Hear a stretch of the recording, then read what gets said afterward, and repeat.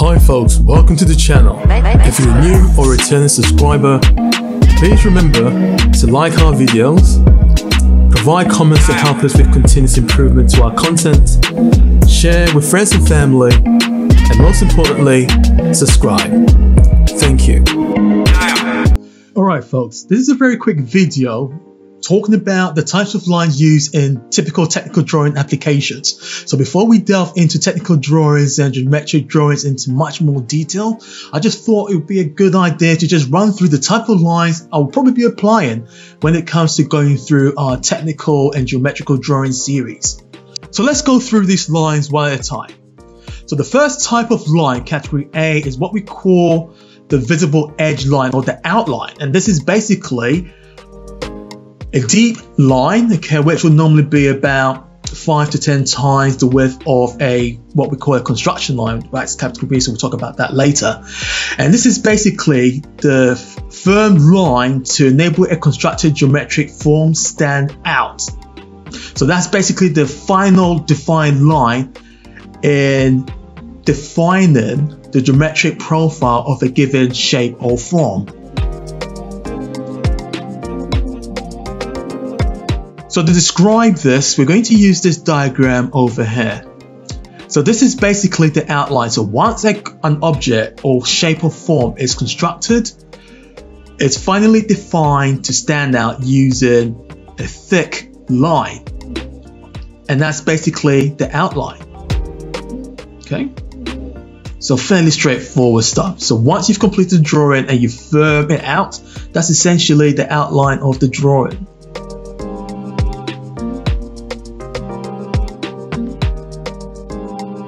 So the next type of line we're going to be talking about is what's called the construction line.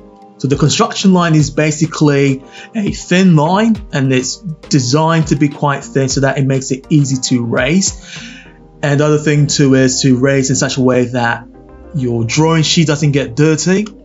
But anyway, um, when it comes to um, developing or constructing any geometric form, and it's basically the um, construction line that's normally used. And this is about a tenth of um, the outline, so the line in category A. So the construction line is also used in other applications too. So when it comes to uh, assigning dimensions to uh, given forms or shapes, uh, projection of lines, so particularly when it comes to orthographic projections, leader lines, imaginary lines for intersection and things like that then this is basically the line type that we normally use. So just to show an example of a typical application, so this is basically a construction line. So this is a projection from the given um, geometric views. And you use your construction line. Other than the head of the arrow for the dimension, the lines, okay, connected to the arrowheads are basically quite thin. Okay. Um, you can also use um, hidden lines to show um, hatch details, but I would typically say when it comes to hatching details, that's normally an intermediary or uh, the intersection between an outline and a construction line, so it's slightly thicker. Okay. So there we have it. So construction lines, leader lines, however you want to call it. Now the next type of line that we're going to be talking about is what's called uh, hidden detailing or hidden lines. Okay, so that's category C. So when we have a geometric form that has some form of internal features that hasn't been sectioned, that you normally use hidden details to depict the internal profile of a given form. this example, if you look at the plan view of this orthographic projection, you realize that there's a ball or a hole going through the cube. So since this particular view doesn't have a hidden, uh, a cross section, you can represent the depth or the detail of the, of the hole going through the solid object by using these dashed lines. So that's essentially what's called the hidden line or the hidden detail. So that is basically category C.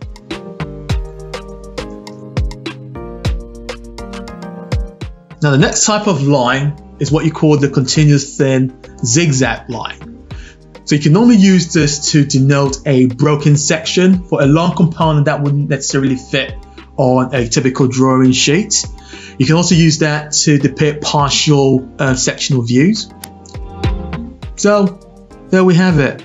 So I've just placed this diagram here just to give you some idea in terms of how this zigzag line can be used.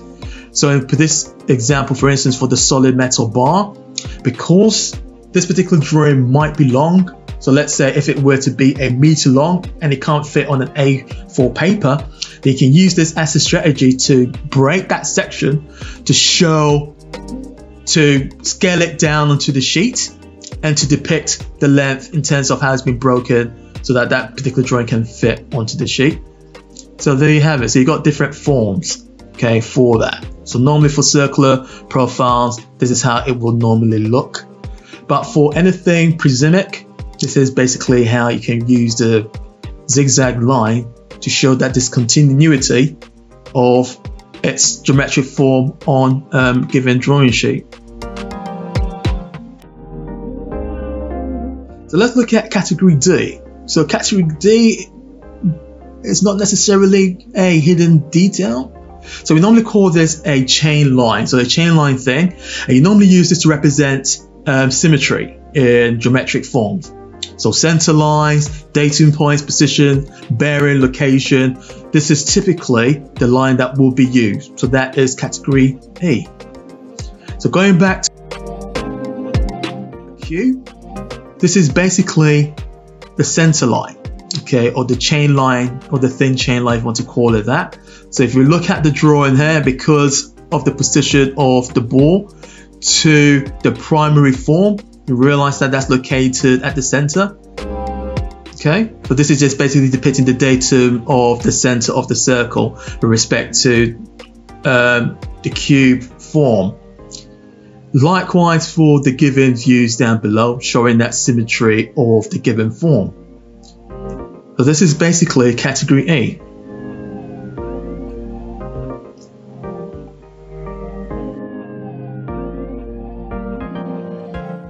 So the other type of line is basically um, similar to category A.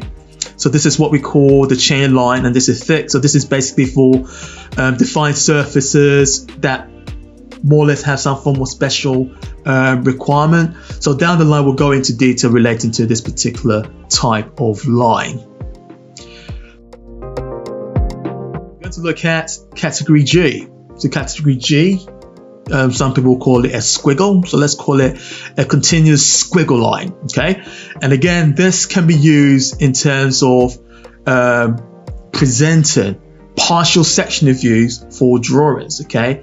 Not necessarily if the drawing is axis symmetrical. Okay. So if you look at this clip, I intentionally used this some time ago, so talking through one of the uh, work along tasks, whereby I've used it to show a partial section of a given component. And the last we'll, we will be using down the line will be category H, and this is basically a line form that represents cutting planes. Okay, so if you wanted to look at a cross-sectional view of a given geometric form of interest, and this is basically the type of line that needs to be used to show the adjacent view in the other view in terms of what is the nature of the internal architecture of the given form. Okay. So going back to our example, this is basically the cutting line or the cutting plane. So if we're looking at the cutting plane with respect to XX, this is essentially what we'll see. So this gives us a clear, detailed view of the internal profile of the ball that runs through the cube. And there we have it.